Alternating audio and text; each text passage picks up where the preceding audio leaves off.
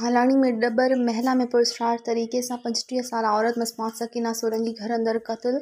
क़त्ल जो कारण मालूम नाहे थी सघियो मक़तूला सकीना सोलंकी जे सहुरे जो चवणु आहे त सकीना जी पंहिंजे मुड़ुस सां केतिरनि ई ॾींहंनि खां पाण में झेड़ो हलंदड़ हू मूंखे क़त्लु कंदो, जॾहिं त ॿिए पासे मक़तूला जो मुड़ुसु इन सां गॾु बि न रहंदो हो ऐं हू में रहंदो हो क़त्ल थी वियल सकीना जो लाश